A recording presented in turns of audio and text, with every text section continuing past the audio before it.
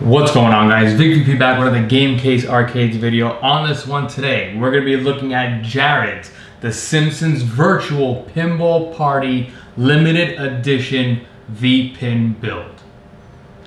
That is a mouthful.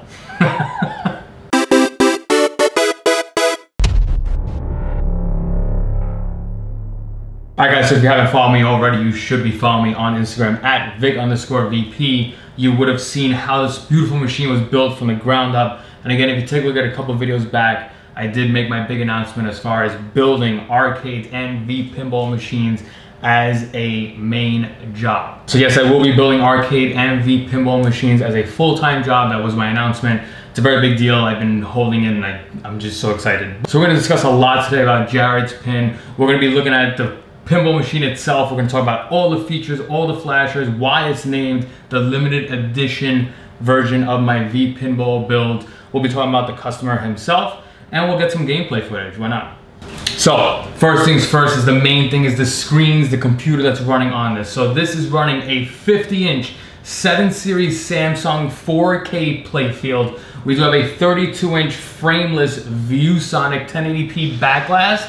And on this one we do have a 20 inch DMD 1080p. So there's three screens on this, 50 inch, 32 inch, 20 inch DMD. If you see my personal Simpsons pinball machine that I have in my basement, I am running a 22 inch DMD. Unfortunately for this build, they don't make 22 inch screens, kind of compact, frameless anymore. So I did have to go with the 20 inch for Jared on this one, which he was okay with.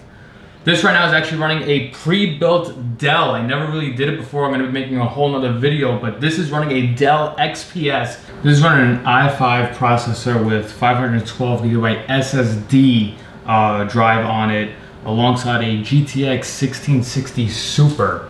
Um, I did upgrade the RAM on this. It originally came with 8 gigs. I added 16 gigs, but I also kept the original 8.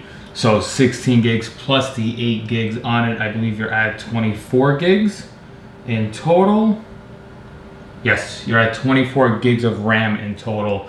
It had four RAM slots and originally stock it had one 8 gig stick. I bought two 8 gig sticks, so there's really three 8 gig sticks and there you have it. This is running 24 gigs of RAM. Now keep in mind though, it is a pre-built Dell, so this is all like Dell exclusive parts, I guess you could say. So like the 512 SSD drive that's on this, it's like a, a certain specific Dell name. It's not like a name brand SSD like a Samsung or a Seagate. It is a proprietary Dell um, SSD. Also, the big thing when you do research on these pre-built Dells is that the uh, GTX, the GeForce 1660 Super it's like supposedly not a real 1660 Super. I don't really know what that means. If you do watch a couple of videos on YouTube, there's a guy that's like talking a lot of bad about this card, but in all honesty, it's playing and it plays the three screens pretty damn good. I'll be honest, it is running 4K. The TV I have is 60 Hertz, but it plays the 4K at 60 Hertz and it is powering all three displays. Again, you do have HDMI is going to the actual Samsung TV. You have a display port going to the ViewSonic. And then there was like a special kind of, I don't even know the name of the plug, like a DVI um, thing. I did a DVI to HDMI to go to the DMD screen on this. As far as toys on this, this is the biggest thing. Again, this is really when we get into limited edition. Again, toys are referencing like the beacons and the strobes and the solenoids all the stuff that really makes this kind of a real life pinball machine. It gives you the realistic feel. So on this, this is running 10 Simon Siemens contactors on this, 24 volts, so it does have a pretty nice thump to it. As far as automotive strobes, we do have the RGB flashers as a red and blue automotive strobe, and my strobe lights are white automotive strobes. In total, it is 17 automotive strobes. They're everywhere just underneath, and I'll take you underneath just so you can see it, there's three, six, and four. Underneath the cabinet alone, you do have the LED underglow, and I do have 10 automotive flashers just underneath the main cabinet alone. As far as the back box here, you can't even see it, but there are two strobes here, so one and one, and there's an R and a B flasher. Up top where I do have my topper, which is the Simpsons characters, the Bart and the Homer piggy banks, you do have the two beacons And there's also five automotive lights up there too. So there's an RGB and two whites that stay permanently on to keep Bart and Homer illuminated. Again, the toys on this is pretty, pretty insane. Also, as far as force feedback, this is running 10 solenoids. In my last pinball build and in this one, I did put 10 Siemens contactors, 24 volts. So these things really thump. Basically, contactors give you a real kind of feel. Like when your bumpers go off or when the flippers go off, you do actually feel a thump in the cabinet. Alongside these solenoids, I do have four exciters. We do have Dayton audio exciters, so it kind of mimics the ball roll. You could actually feel the ball roll. So there is a lot of toys in this. This is a couple more toys than what I have in my personal V-Pin. And this again deemed it the limited edition.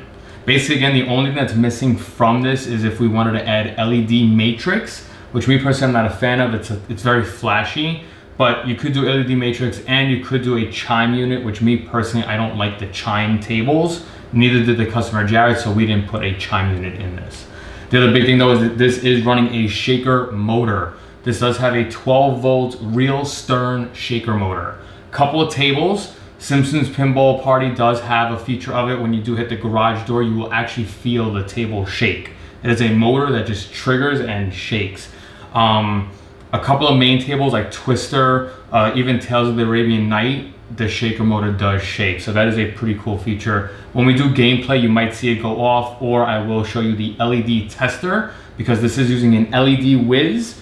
I'll show you how you could basically test it and I'll show you what it really sounds like just in test mode. As far as other little details, this is running a 16 channel SainSmart board connected to an LED whiz and as far as analog plunger, this does have a real analog plunger with live nudge. So you could really nudge the table thanks to the KLZ board. That's just how realistic V-Pin gets. You do have solenoids, you got strobes, beacons, flashers, you got the surround sound feedback, you got the plunger, and you do have the live nudge. Again, this is the limited edition V-Pin. As far as audio on this, this is running the Z533 from Logitech pretty loud. I believe it's 120 watt sound system. We do have two stereo speakers. And as you saw in the little previews, you do see the subwoofer cutout. So there is an actual sub. Unlike my personal build, I actually made a nice four inch diameter, put the sub right in so this thing really shakes too. What's really cool is that there is actually no volume knob or switches anywhere on the cabinet. I am using a program called Pinvol. Basically, holding down the extra ball, the blue lip button, and using your flippers, you'll be able to raise and lower the volume. So it was much cleaner than my personal build, and it was pretty cool feature. Instead of you going and turning a knob, Pinvol makes it easy. So now I'll show you what the table looks like in night mode or if you turn off the lights, it really kind of stands out. Again, you do see the LED underglow. Depending on what table you play, for example, the Simpsons table, it is yellow LEDs. If you play, for example, Ghostbusters or if you play Deadpool, it would be red or green. So it's pretty cool that everything works within the software. Even same thing with the LED speakers that you do see here, the LED rings that I created out of an LED strip. You can see all that, it's pretty awesome. Now real quick, we'll go talk about Jared now. So Jared messaged me on Instagram, said, hey Vic, I love your V-Pin. I want one, I want one, I want one. So he actually messaged me back and I believe it was June. Um, and at the time I was working another job. So I told him, listen, I'm gonna build another V-pin because I do want another V-pin, but I'm gonna need some time. So right now, again, we kind of started the process in June. It right now is gonna be delivered to him next week in September. So with that though, before he did pay me, well, I didn't really even get a deposit to be honest with you. Um, with this specific build, I told him, listen, just let me know what artwork you want. I'm gonna build the cabinet because I'm trying to make a lot of videos on V-pin.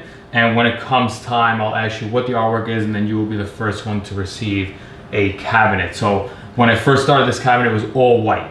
And again, the main thing when it comes to V-pin builds is that it's all wiring and all that. You'll see in another video the amount of wiring that goes into V-pin. It's pretty insane. So big kudos to Jared for being very patient. Uh, basically, I told Jared, I said, listen, I'll strike a deal with you. I'm really building this to understand how long it's gonna take me personally to build a V-pin cabinet. So with that, I have a rough estimate on how long it would take to build a cabinet. So again, thanks Jared for your patience. It's coming to you next week, so not to worry. Now when Jared messaged me, you know, he said to me, hey Vic, I love your Simpsons pinball cabinet, duplicated, I want the Simpsons. I said, are you sure, man? Maybe I could do something else. Maybe you want to check something else out. Maybe I'll do a different, you know, artwork style. Because I didn't really want to duplicate my Simpsons pinball party, but if you want my Simpsons pinball party, I'm going to duplicate it. So he said, yeah, my kids, I got kids, they like the Simpsons. And sure enough, I built him a Simpsons pinball cabinet. I originally, before he even messaged me, I already had ideas of building another cabinet. I was gonna do a South Park themed cabinet. So this originally really was gonna be a South Park themed, but when I have a customer and he's willing to pay, I let them pick the artwork, obviously. So this kind of funny backstory, it was supposed to be a different table, but Jared, customer, messaged me. He wanted a Simpsons pinball party, and there you have it. That's how we basically decided on the artwork. The artwork is an exact duplicate of my personal Simpsons Pinball Party pin.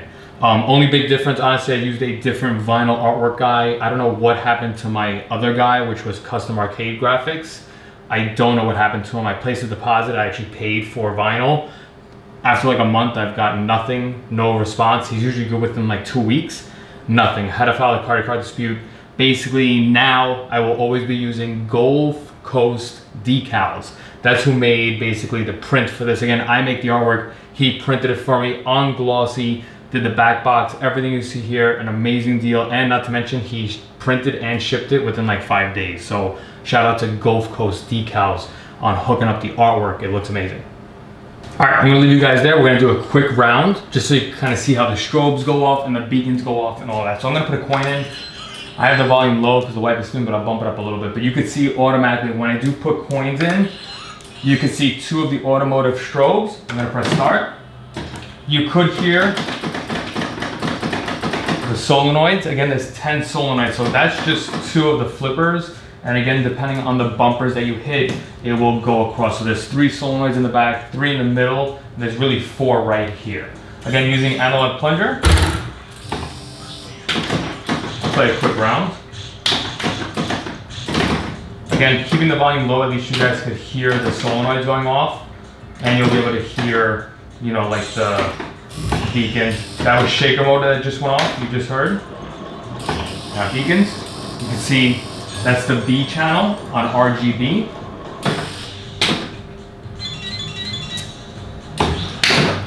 To get multi-ball.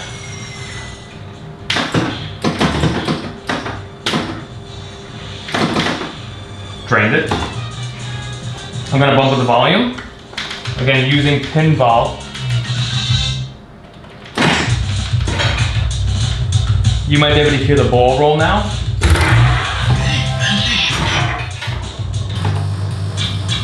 Okay, you're gonna see it goes off here.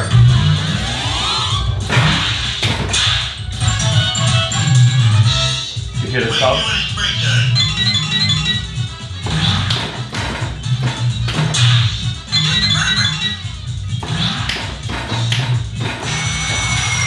Get multiple.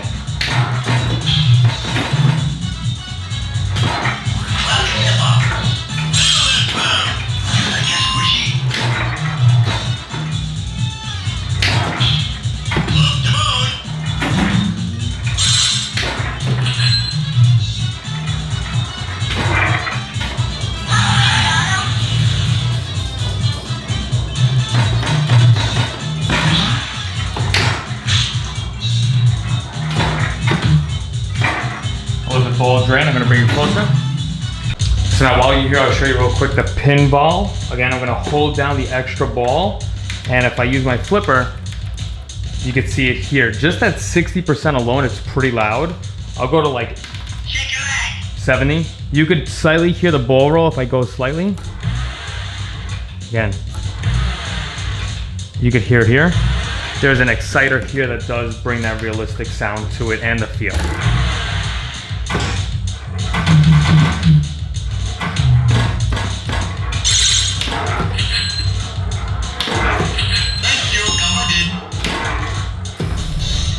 Shaker motor. I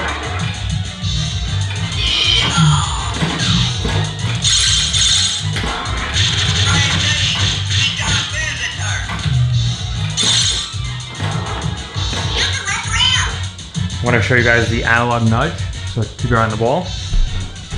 As you can see, I'm able to shake the pinball cabinet and it moves the ball. Again, 4K display.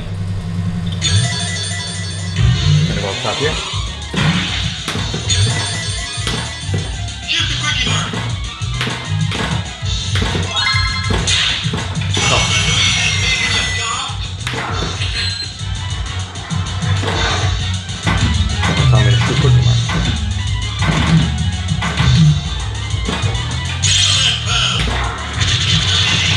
That's the clown.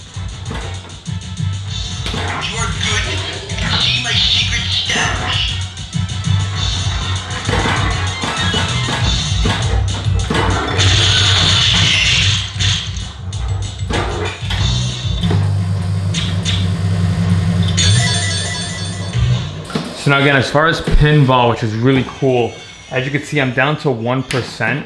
And from my personal experience, like with my pin, I have the actual physical knob for the volume. This is great. The only big thing is that this is basically global volume, all the volume.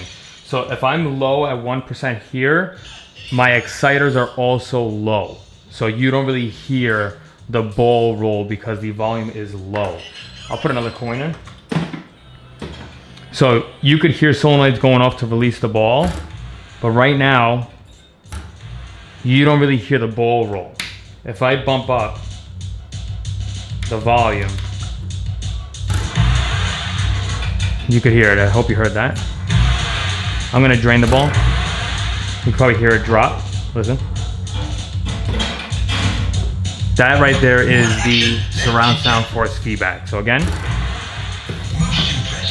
Shaker motor. Shoot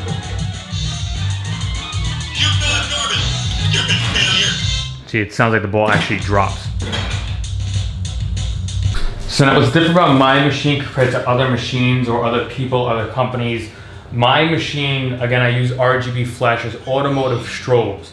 So again, RGB, there are a couple that are in the back glass, or I should say the DMD where the speakers are, and I do have a couple up above the back glass, but I also have them underneath. So if I play, you can see right there that's an RGB going off. So most builders do just the LED underglow, whereas for me, especially on the limited edition, I did add RGB flashers underneath the main cabinet.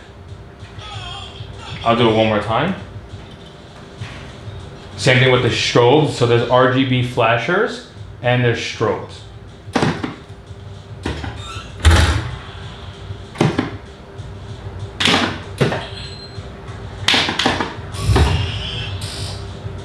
That was a strobe. That was a flasher.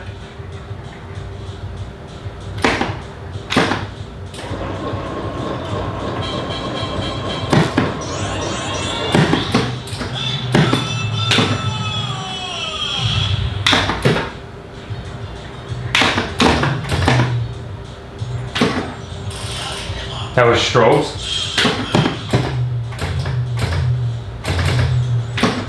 You can see on my left foot. Oh, I got multiple. That's a flasher. I have multiple right now.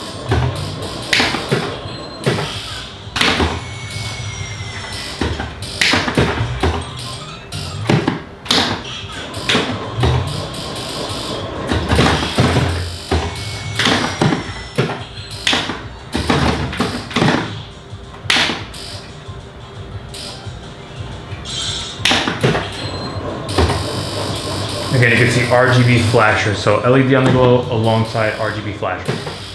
Now there's also another cool feature. You can see right now I have the volume low, but you do hear like the SainSmart board. You do hear little stuff going off. You could also hear like the beacons. There's actual motors inside the beacon. So let's say you're playing at night like I do, like I play at 1 a.m. You don't want to piss off the wife. I've added the night mode switch. It's a physical toggle switch. So if I come right back here and I flip my switch, I just disabled all DOF. Everything related to DOF is disabled. So honestly, the LED underglow, the LED strips also is disabled. You do have a slight hint, but it's not yellow anymore. As you can see, there is still some power going to the LEDs, but everything else, solenoids, nothing. Beacons disabled. And as you can see right now, this is considered night mode.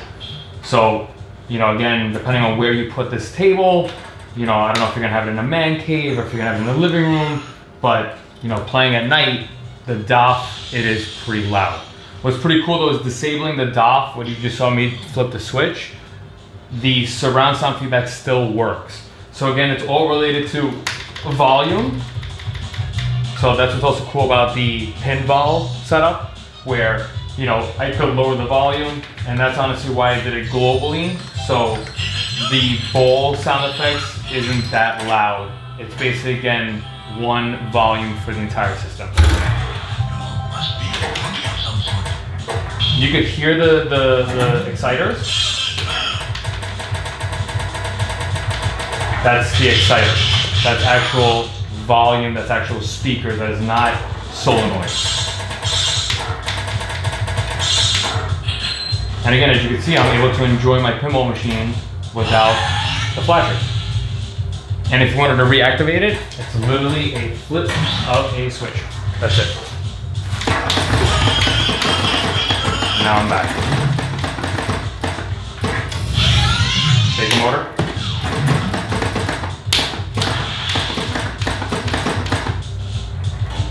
Awesome. So now real quick, I exited the entire program. This is the desktop. No customer really should be going into this, but it's there. I'm showing you this. Lo I loaded this up just to show you the shaker motor on this. What's crazy about the shaker motor is that I had to add an actual physical dial to really dial how much power the shaker motor gets. The more power, basically if I left it stock without this dial, the shaker motor, literally the cabinet went like left, like it would shake. I'm gonna do this real quick just so you could hear. This is with the dial, this is basically the max amount of speed or vibration the shaker motor will do. Ready? Insane. and then just to show you guys, right there, that is the dial for the shaker motor. If I can focus. That is the dial for the shaker motor. There you guys have it. VicVP Game Case Arcade Jared Simpson's Virtual Pinball Party Limited Edition.